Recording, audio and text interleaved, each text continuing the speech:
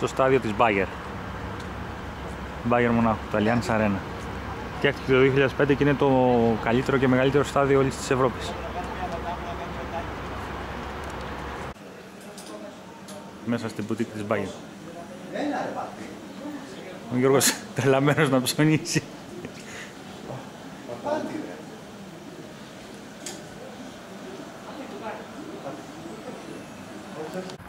Καλά πάντως ε, έχουμε νοικιάσει και γάμο τα εργαλεία. Συμφωνείς Γιάννη; Και γάμο τα εργαλεία.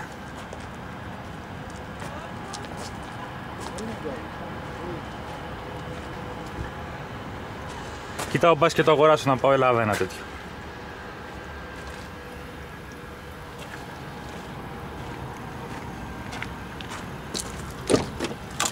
Ε, δεν το ξεγέλασε.